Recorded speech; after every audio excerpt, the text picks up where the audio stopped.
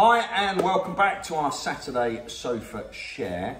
Um, normally we like to be quite upbeat really, don't we, when we're talking about sort of subjects to do with sales of properties, buying properties, rentals, that kind of thing. Um, but a bit of a sad one for us this week and for the buyer as well. Um, unfortunately we lost a sale. Yeah, we're going to put our hands up. Sale fell through. We didn't actually manage to get that through to exchange of contracts. Does that make us a bad agent? I don't think so. I don't think so, no. It's, and it, unfortunately, it's nothing to do with us that we could have influenced either. But so, uh, yeah. beyond our control. But I think if we don't sit here sometimes and put our hands up and go, ah, that's kind of upset us a bit, then we wouldn't really be real people and with a, a beating heart and lifeblood and all that, would we? So I think it's good that we kind of recognise these things. And something that we are going to take from this is our taking on procedure.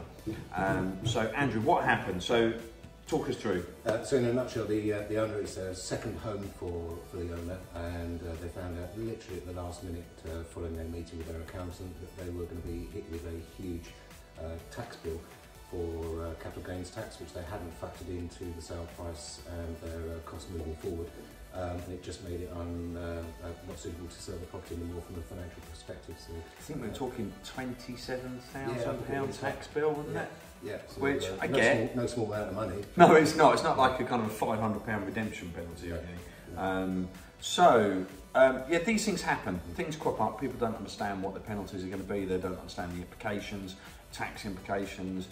Um, Andrew, what can, what sort of things should people really be looking for? Other than is my house clean and tidy, and my garden done, and the decorating done, is it well set? What's the real key, crucial things that people that, or that crop up for us that people need to be looking at? Yeah, well, you touched on it briefly there. Probably the main things you'll come across is uh, mortgage redemption penalties. That would be when you've got a, uh, a fixed deal normally with your lender. Uh, if you end that deal early, so say it's a five-year fix and you want to sell your home after two years of that five-year deal, then there will be a clause in that uh, mortgage deal that says you will have a redemption penalty to pay. Um, and that can sometimes run into many, many thousands That's of pounds. because of the discount they're giving you, isn't Yeah, it? That's your penalty if you come away from Yeah, it, which yeah. is, I Um, think, yeah, I think a lot of people that have bought and sold understand Mm. that particular point, but I think more importantly, how much is it going to cost them? Exactly. So it's really important to have a conversation with your broker or your mortgage lender direct to check the deal that you've got in place and just to be aware of any uh, extra costs that you are going to incur in your, on your cost of moving. I suppose in the preparation for that, um, if you're not sure, if you don't know who you, uh, your lender, or if you don't know, or you haven't got the time to ring your lender, the more importantly, I think, just let us know. We'll put you in touch with people that can help you on that. It doesn't cost you a penny to find out um, what your redemption penalty is, and then we can sort of guide you and move you on. What else, Andrew? Uh, what are we looking for? Nothing I was thinking of. You make sure you've got clear title on your property. So yeah, obviously, if you've got a mortgage, then the mortgage will be there as a charge on your property. But quite often, people do have a second mortgage or what used to be called a, uh, a secured loan. Yep. Uh, I think they changed secured loan to second mortgage. Um, so you need to be uh, primed and ready. Probably make contact either via the solicitor or direct with the people who have got other charges on your property to make them aware of your intent to sell Yeah. um, and to put them on standby because that will delay things when your solicitor sees your title plan and Mm. sees you've got a second mortgage. Um, maybe They're going to want details of it as well, aren't they? Yeah, you need to be. forewarn them and forearm them. Yeah, and if there, was a, if there was a charge on your property from a debt, which Yeah. you know, sadly a lot of us have incurred over the past, that will sit there on your uh, title deeds and will need to be dispersed uh, on completion. But of course, when your solicitor's having to track down all of these remote people who've got maybe a charge on the property, it's just going to delay the process. So, I think one of the ones on that is when, say for example, um, you're dealing with an elderly relative's property or parents or whatever, um, and whether they've gone into a home or unfortunately have passed away, which is very sad.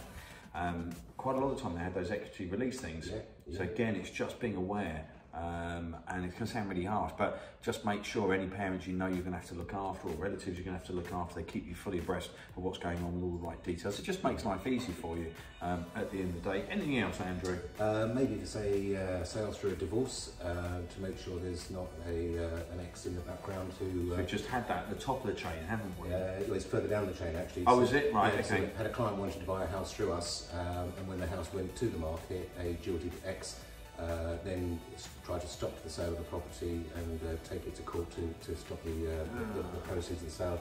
There must have been some financial implication there, of course, um, but that rolled on and on and on. And it can do as well, can't it? Particularly if it's a, a, a bit of a, I say, a nasty split, whatever you want to call it. It's never easy, whatever happens. But um, if you're not in agreement, but I remember that one uh, we exchanged on it yesterday actually.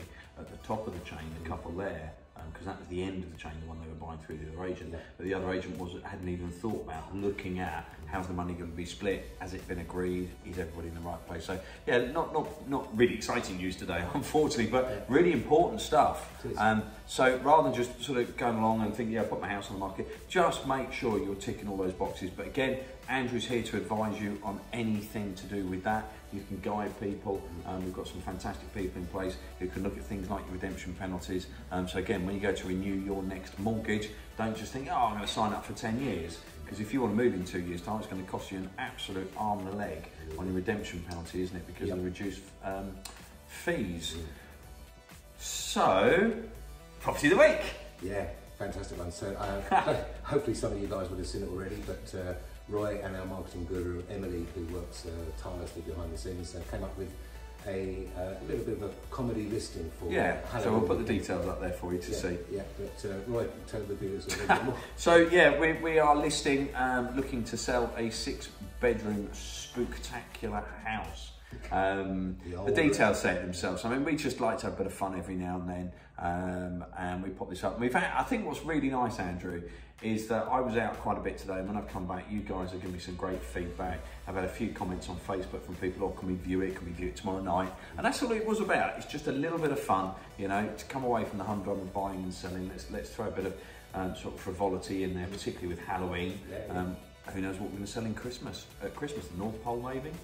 You You never know. Yeah, I had one chap who was uh, searching the property, came across this listing, and he said he did put a smile on his face and uh, relieved the boredom of looking for his next property. So really So there we go. We put a smile on someone's face today, which was fantastic. And I think he shared it with his friends as He well, has, didn't he? he shared the listing. So, uh, Fantastic. yeah. So it's just a bit of fun. So I hope you enjoyed that one. But that's it from us. Be safe this weekend. Um, hopefully the weather will cheer up for tomorrow night. I know tonight's going to be okay. So if you are out trick or treating, just be mindful. Um, if people have put signs up, don't knock on my door. Don't do it. Just, just physically don't do it. And please, if you are teenagers watching this and you think it's fun to throw eggs at people's houses or whatever, it's not really. It really isn't. So have fun, stay safe, enjoy it. Hope you'll get way too many sweets and um, kind of sit there and not obviously be sick, but um, have great fun doing it. I know my kids love doing it and have done over the years. So that's it from me for the weekend. Anything else from you, Andrew? That's it. Have a super one and stay safe as well. As it. All right, take care. Thank you. Bye bye.